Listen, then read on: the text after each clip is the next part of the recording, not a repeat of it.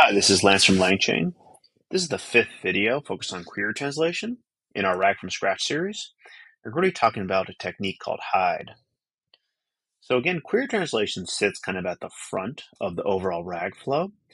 Um, and the objective is to take an input question and translate it in some way that improves retrieval. Now, HyDE is an, an interesting approach that takes advantage of a, a very simple idea. The basic RAG flow takes a question and embeds it, takes a document and embeds it, and looks for similarity between an embedded document and embedded question.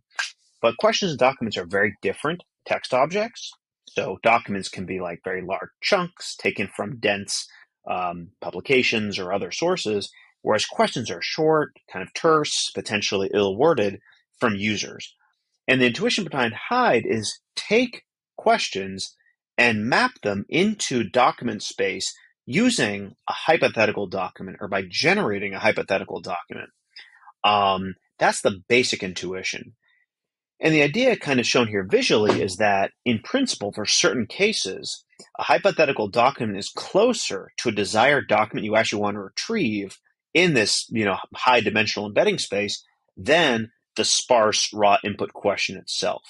So again, it's just kind of means of trans- translating raw questions into these hypothetical documents that are then better suited for retrieval. So let's actually do a code walkthrough to see how this works. And it's actually pretty easy to implement, which is really nice.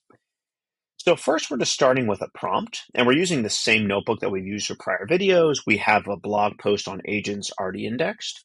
Um, so what we're going to do is define a prompt to generate a hypothetical documents. In this case, we'll say write a write a paper passage uh, to answer a given question.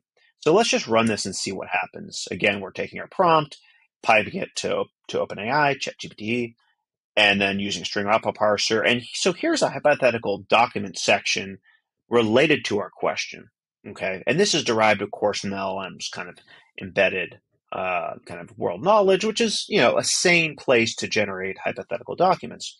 Now, let's now take that hypothetical document and basically we're going to pipe that into a retriever. So this means we're going to fetch documents from our index related to this hypothetical document that's been embedded, and you can see we get a few question, a few retrieved uh, chunks that are related to uh, this hypothetical document. That's all we've done.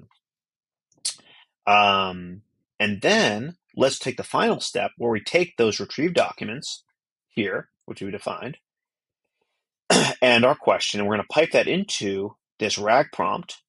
And then we're going to run our kind of RAG chain right here, which you've seen before, and we get our answer. So that's really it. We can go to LangSmith and we can actually look at what happened.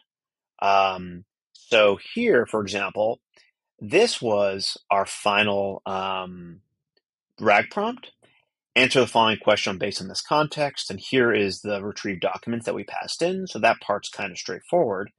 We can also look at, um, okay, this is our retrieval. Okay, no, this is this is actually what we we generated a hypothetical document here. Um, okay, so this is our hypothetical document. So we've run chat OpenAI, we've generated this passage, which is our hypothetical document, and then we've run retrieval here. So this is basically showing hypothetical document generation followed by retrieval. Um, so again, here was our passage which we passed in, and then here's our retrieved documents from the retriever, which are related to the passage content. So again, in this particular index case, it's possible that the input question was sufficient to retrieve these documents. In fact, given prior examples, uh, I know that some of these same documents are indeed retrieved just from the raw question, but in other contexts, that may not be the case. So folks have reported nice performance using HyDE uh, for certain domains.